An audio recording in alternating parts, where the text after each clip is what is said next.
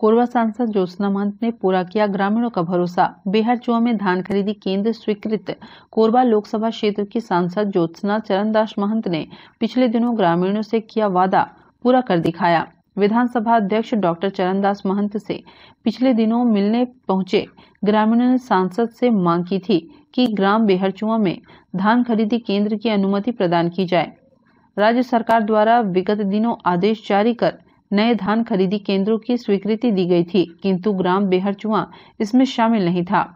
ग्रामवासियों ने इस पर मायूसी ज़ाहिर करते हुए सांसद से मिलकर गुहार लगाई थी। सांसद ने इस मामले में त्वरित कार्रवाई का आश्वासन दिया था।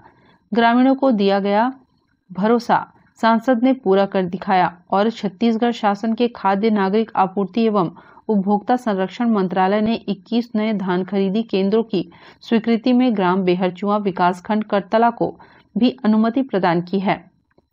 सांसद की पहल से बेहरचुआ को धान खरीदी केंद्र मिलने से ग्रामीणों में हर्ष व्याप्त है।